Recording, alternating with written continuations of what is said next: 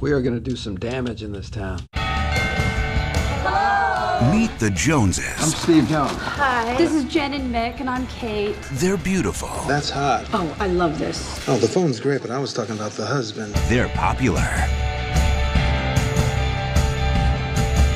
They're not just living the American dream, they're selling it.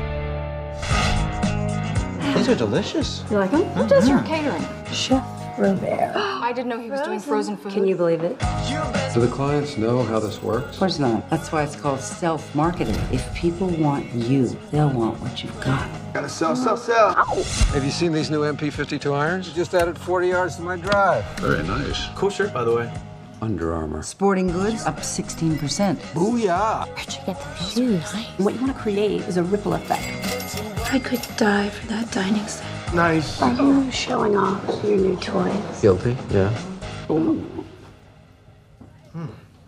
This really wasn't covered in my orientation. But keeping up appearances I have to ensure that my unit is selling their products. Do you have a unit? That explains why we're in separate bedrooms, perhaps. is a full time job. I'm your boss. I don't need to be friends. So this is just business, huh? Your numbers are looking good. Thanks, boss. This part is pretend. You don't realize the effect you have on people. You're a charismatic guy, but if you don't apply yourself, then that's all you're going to be. Honey, I am home. Well, hello. What was that? Just applying myself.